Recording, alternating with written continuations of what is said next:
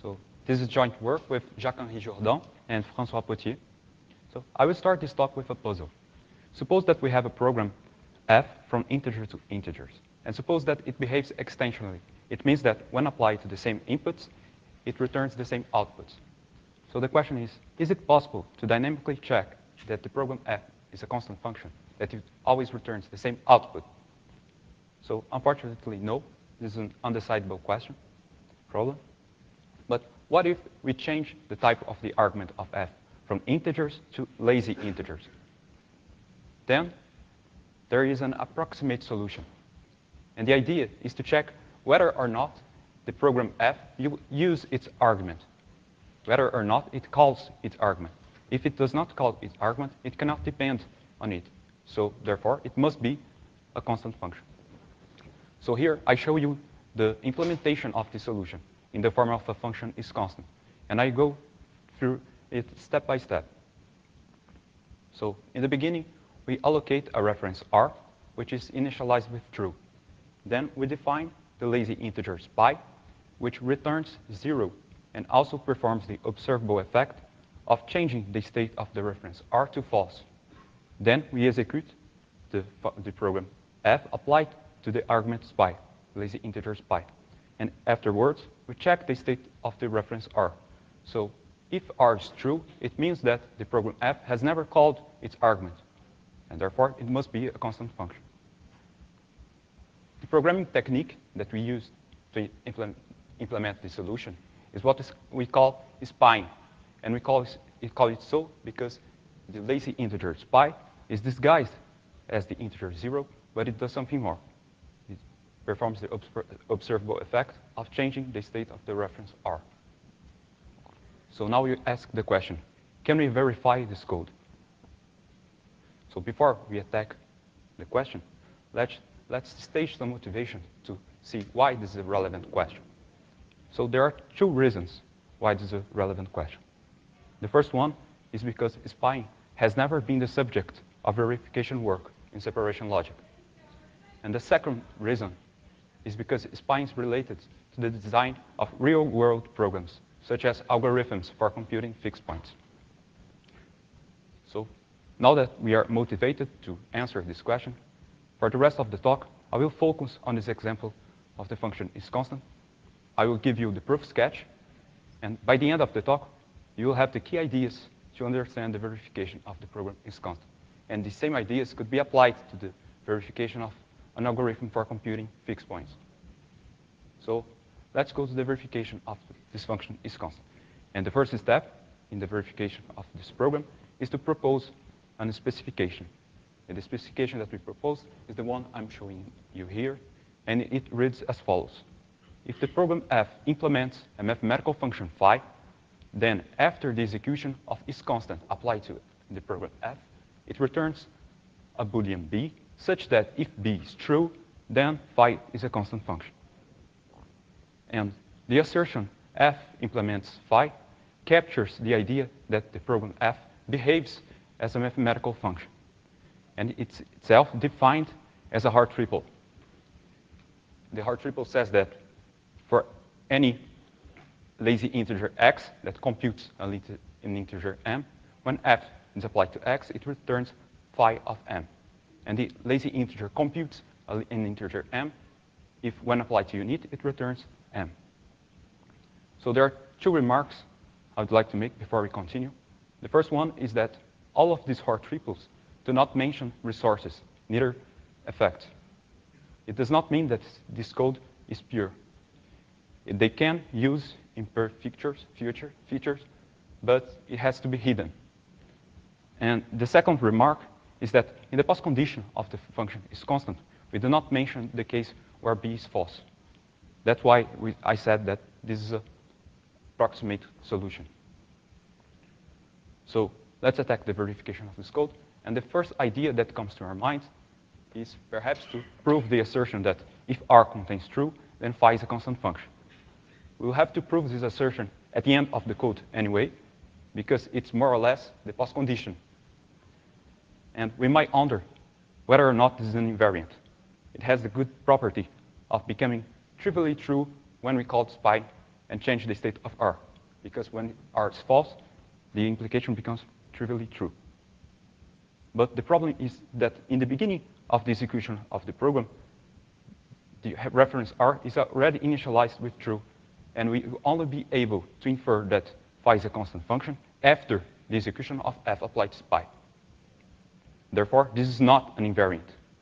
The assertion only becomes true after the execution of f applied to spy. So a better candidate for an invariant is one that includes the number of times that spy is called. And I think that everyone will agree that the total amount of times that spy is called during the execution of the function is constant, is equal to the number of times it has been called, plus the number of times it will be called. And another assertion in the invariant is a reminiscent of the previous one. And it says that if R contains true, then the number of best times it's called is zero. So now we have another problem. How do we count the number of times that spy will be called? And for that, we are going to use what are called prophecy counters. So prophecy counters, first of all, it's ghost code. They do not appear at runtime. And secondly, it was implemented using prophecy variables, which were recently introduced into Iris. So, and before I go into the, each of these operations, I will give you the intuition right away. And the intuition is that if the state of a prophecy counter is the, the natural number n, it means that it will be called n times before it's deallocated. So let's go to the first operation, which is the allocation of prophecy counter. So when we allocate the prophecy counter, it yields a natural number n, which denotes the number of times it will be called before it's deallocated. Now, the, the, the prophecy, the operation prophecy decrement makes sense. It is a call to the, the prophecy counter, and after this call, we learn that the number of times it will be called is at least one, is greater than zero. And the number of times it will be called gets decremented by one, because we just made a call. Also, the deallocation of a prophecy counter makes sense because when we deallocate, we learn that the number of times it will be called is zero. So I mentioned that this is ghost code, so we have to instrument our code with these three operations. So the idea is that in the beginning of the code, we will learn how many times the prophecy counter will be called. And by placing the prophecy call inside the body of spy, the number of times that the prophecy counter is called matches with the number of times that spy is called. So since the beginning of the execution of the program, we know how many times spy will be called. And it's denoted by the natural number n. Now we can translate the informal invariant that I showed before into a, into a formal one that can be written in Iris. And it's easy to see the correspondence between the two the first line that says that the number of times spice call is equal to the number of past calls plus the number of future calls gets translated to the state of the prophecy counters L. It will be called L times in the future. And the total number of times spice called N is equal to the number of past calls K plus L. And the assertion, if R contains true, then the number of past calls is zero gets translated to the state of the reference is B, such that if B is true, then K is 0. So now, by exploiting this invariant, at the end of the code, we infer that if R contains true, then spy has never been called. So the state of the reference R is B, such that if B is true, then N, the number of times spy is called, is 0. So that's good for the invariant but I have not yet explained how to relate the number of times phi is called if whether or not the phi is a constant function. So the idea is that if spy has never been called, then spy is dead code. We can give it any specification, even a false one. We can say, for example, that it computes an integer m, an arbitrary integer m, even though we know from the implementation that it computes zero. So now, by exploiting the fact that we can say that spy computes an integer m, and the fact that the program f implements the mathematical function phi, we can compose these two specifications to conclude that after the execution of f applied to spy, we have phi of m for an arbitrary integer m. So now you can see from the specification, the second specification, that we are nearly there.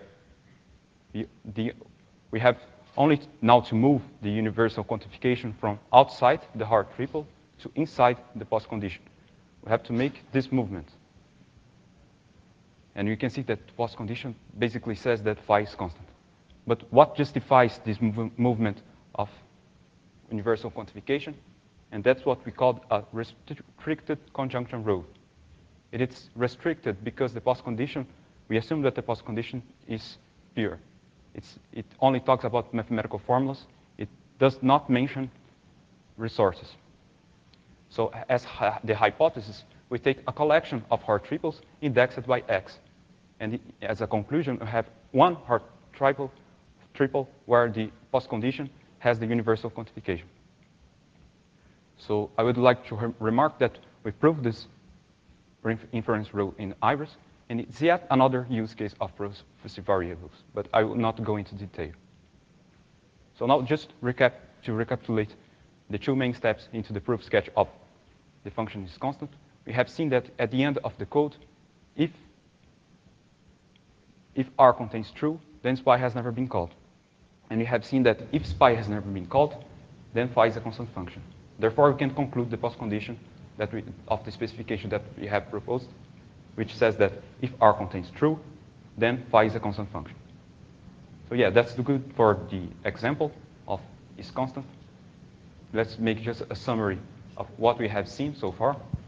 So I show you the example, this example of the function is constant, which is a simple example of spying. And we have seen the proof sketch of this, of this spying, and we have seen how prophecy variables can be useful in the proof sketch of spying of uh, is constant. And we have seen also a restricted form of the conjunction rule.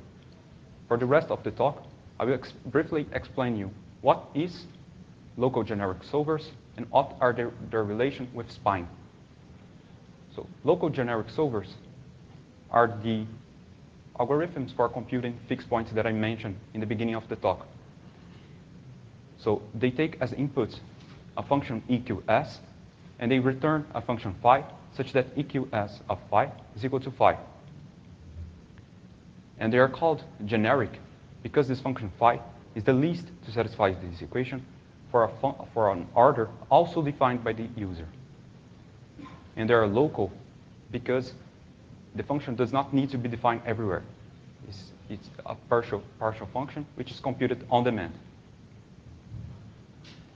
So a possible signature for a library implementing a local generic solver would be the one shown in this slide.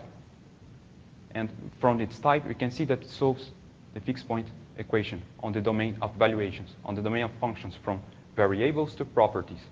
So a simple example for use of usage of this library would be to, for example, to define Fibonacci. And it's easy to see that Fibonacci is the solution for the fixed point equation of EQS on the domain of functions from integers to integers. So finally, I will explain what's the relation between local generic solvers and spying. So it comes from the intuitive notion of dependencies.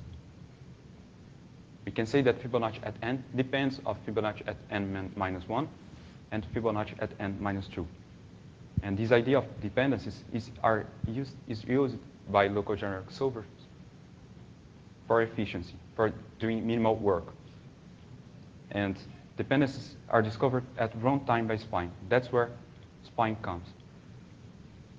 So to conclude, I will briefly talk about what is in the paper and what I didn't have time to go into detail.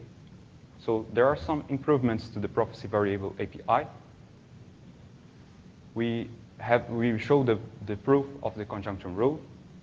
There's some discussion about the usage of locks to make the local, uh, local generic solver, which was primarily sequential, into a concurrent one and thread safe. We also explain the specification and proof of modulus, which is the general case of spying. And we also explain the specification and proof of a local generic solver. So some of the limitations of this last item, the proof of a local generic solver, is that we only prove partial correctness. We do not prove that the algorithm terminates. And we also do not exclude the case of deadlocks. So yeah, that's all for today. Thank you.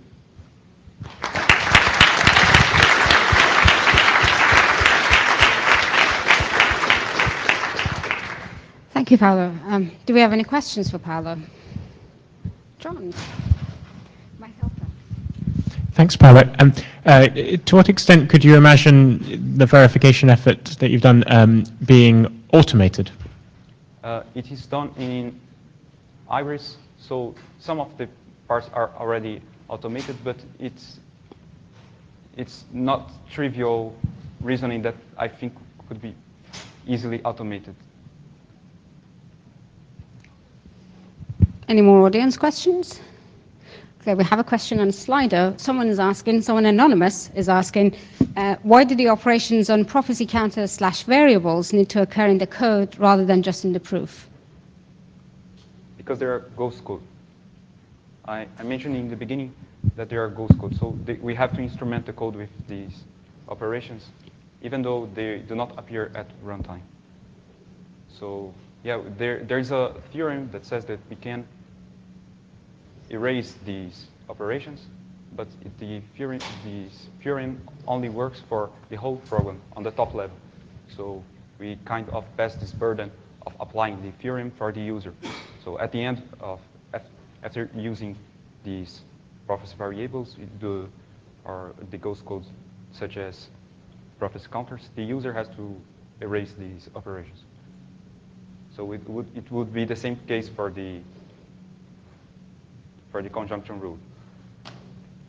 So it's for it's the burden is on the user to erase the the prophecy variables that are introduced in the conclusion of the inference rule. Mm -hmm. Any more questions? Okay, you mentioned that uh, you improved the prophecy variable API of Iris. I assume this is the work that Rodolphe talked yes. about. So can you elaborate on how you improved it? What were the limitations? Yeah, I have a backup slide. So basically, there is this last rule that we add. So uh, just as a disclaimer, this is not a, a, great addition to prophecy variables. It's just a, a, reworking of the, it's built on top of the prophecy variables API that already exists. So we, we could add this operation that says that the list of future writings to the prophecy variable, it's nil. So for example, in the in prophecy counters, this would be the case where we deallocate the prophecy counter. So it's useful to have this operation. And the other addition is that when we allocate a prophecy, a prophecy variable, when we do the new prof operation, the list of writings to this variable can, can, be, can have a type assigned to it. And this type is free for the user to choose before, this type would only be val, which is the type of values in the HeapLang programming language. Now it can be any type as you choose. We have time for one more question. This is your last chance, folks.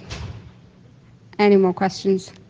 Okay, in that case, I'll ask you one. So you mentioned that your limitations right now is you don't do deadlock freedom and you don't do termination. Are there any plans to look into that or? So yeah, there is a variant in of the usual Hoare triple in Iris which guarantees which guarantees uh, total correctness.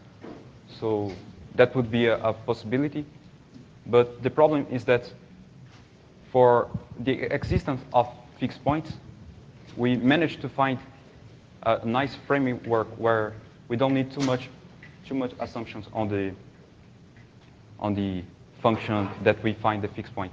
But for termination, there are a lot of, of possible hypotheses that we could assume, and it's difficult to choose one. We do not, we do not manage to find a more abstract set of assumptions to, mm -hmm. to guarantee termination. Thank you very much. Let's hear it for Paulo.